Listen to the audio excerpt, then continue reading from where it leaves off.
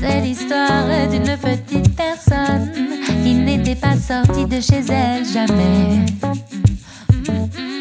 Elle avait peur, ça t'étonne. De quoi elle ne le savait.